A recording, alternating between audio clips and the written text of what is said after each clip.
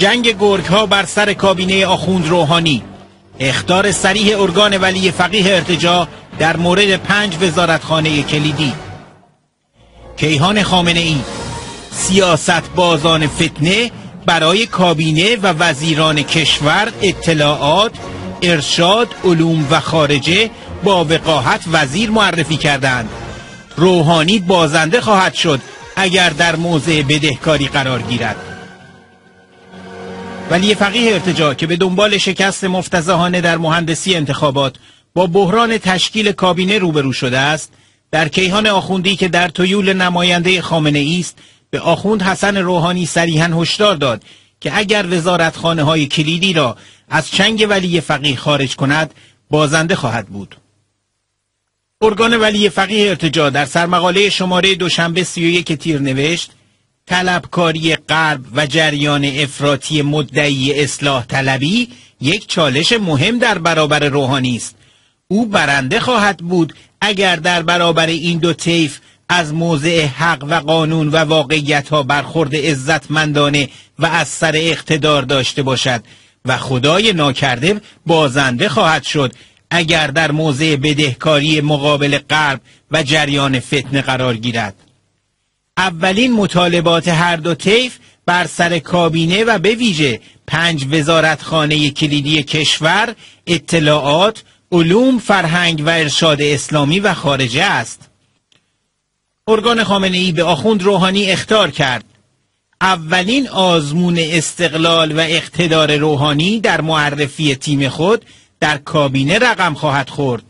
بیدلیل نیست طی دو هفته اخیر سیاست بازان و رسانه های فعال در فتنه از جانب خود برای کابینه و وزیران کشور اطلاعات ارشاد علوم و خارج نسخه پیچیده و حتی با وقاحت وزیر را معرفی کردند دکتر روحانی می‌داند که اگر در این موضع کوتاه بیاید طلبکاری فتنگران ورشکسته و حامیان خارجی آنها حد یقف نخواهد داشت.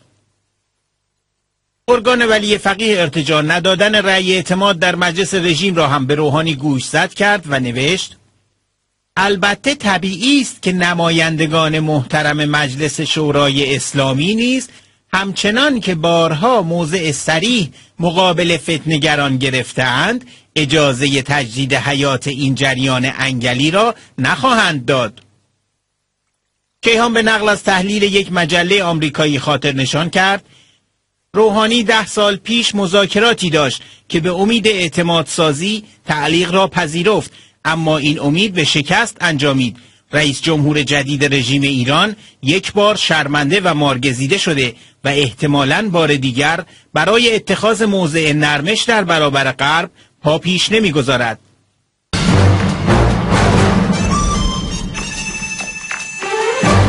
مشاور نماینده خامنه ای در سپاه پاسداران.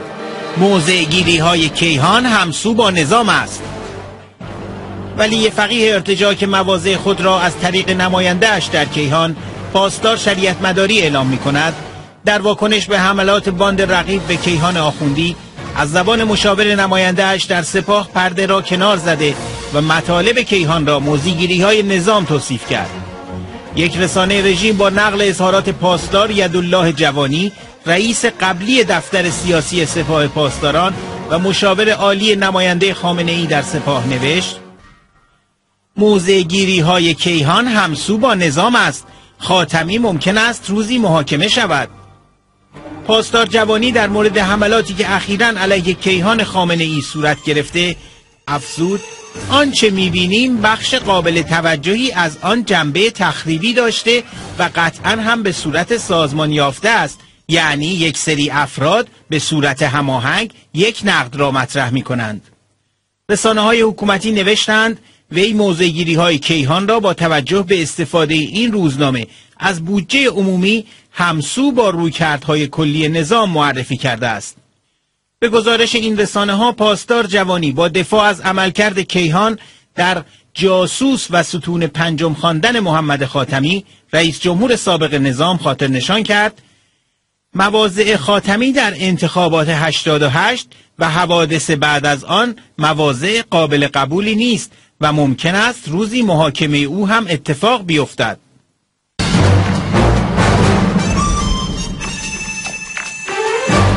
حمله مجدد رفسنجانی به سیاست های خامنه ای اندیشه افراطی با ادبیات اعتدالی هیچ سازگاری ندارد.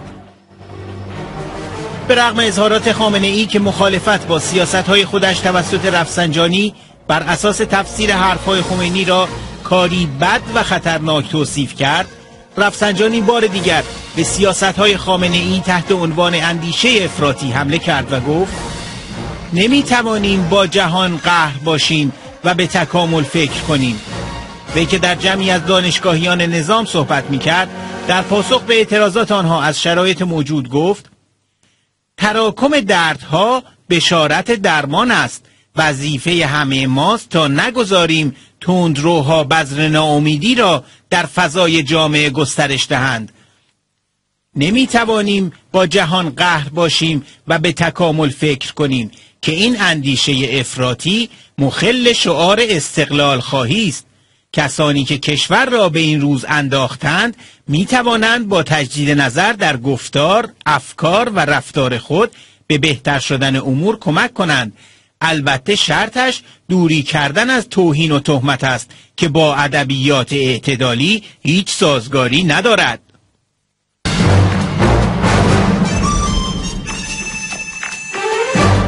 هشدار نمایندگان باند غالب به آخوند روحانی. وزیرانی که معرفی می شوند با ملاک و شاخصه ولایت پذیری باشند.